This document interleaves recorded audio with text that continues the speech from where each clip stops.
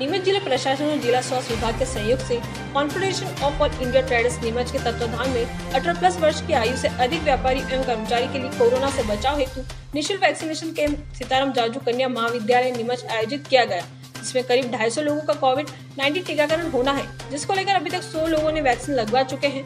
जिसको लेकर क्या कहा केट संस्था के व्यापारियों ने आइए सुनते हैं।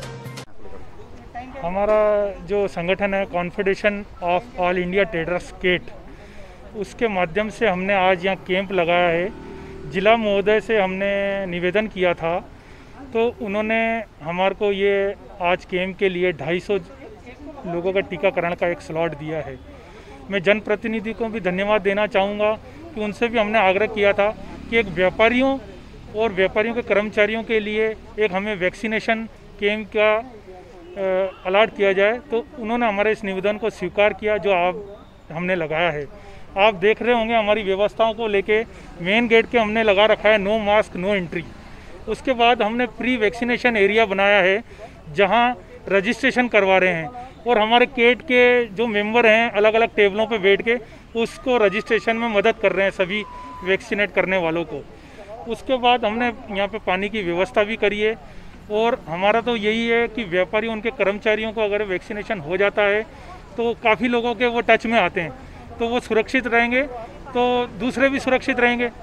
तो हम तो सभी नीमच के वासियों को यही निवेदन करेंगे कि जल्दी से जल्दी अपना वैक्सीनेशन लगवाएँ, जिससे भविष्य में जो भी महामारी आ रही है, उसके संक्रमण से बचा जाए। व्यापारियों के हितों के लिए संस्था है confederation of all India traders CAIT के माध्यम से हमने व्यापारी और उनके कर्मचारियों के लिए शिविर का आयोजन रखा है। ढाई सौ लोगों का लक्ष्य हमारा। प्रशासन, शासन की पूरी मदद से और स्वास्थ्य विभाग की मदद से हमने कैंप आयोजित किया है। सारी व्यवस्थाएँ केट के माध्यम से की गई, पीने के पानी की व्यवस्था, सिटिंग अरेंजमेंट सारी हमने की है।